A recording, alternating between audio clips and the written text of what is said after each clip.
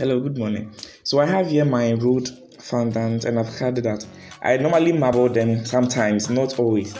And what I normally do is, if you you really want to write with your press set onto your cake, you have to check the colors you are using, especially when it's a cream cake.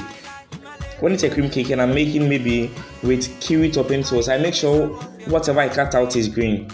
If it's strawberry, maybe pink or red will do. And even if it's blueberry, you can just color something purple or move and use for your writing.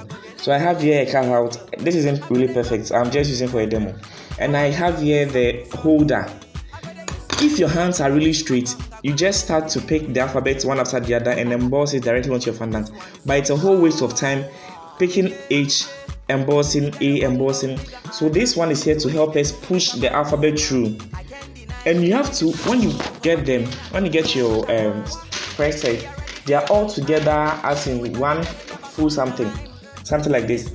So you have to break them out into smaller pieces. And if you are breaking them out, you make sure you are not getting any trace. You are not, it, no, it's not going to follow any trace. So you see here, it has some traces here. So you see it has something leading to the next kata. It has some lines there leading to the next alphabet and other stuff. Sorry, my camera isn't really focused. Okay, so it has something leading there. Make sure if you're going to use a knife, you cut it out very well. You don't cut through the alphabet or you don't break the alphabet. So you see, all my own are singly separated. If those ones are there, when you push it through here, it wouldn't go. If you push it through the alphabet holder, it wouldn't go through. So you should make sure you've, you've um, brought out all those pieces around it. If you push it through, it wouldn't go. And if you don't break it well, if you push it through, it will get stuck. And it wouldn't hold its shape or it will even sometimes get crooked, especially if it's I. The I, the I is very troublesome. Sometimes you push it through and it turns itself and comes out. So you have to be very careful when handling it. So I'm going to just put the happy inside here and I'll show you how to emboss it. So as you can see, I just pushed the happy through. So this is the happy, I'm just going to emboss it. So if you have maybe happy 50th birthday, you just push it through so that it will come down a bit. You see, I just push it downwards. Then you bring the 50 and the TH after the happy. So happy 50th, then you just pick your fondant, you position it anywhere you want to.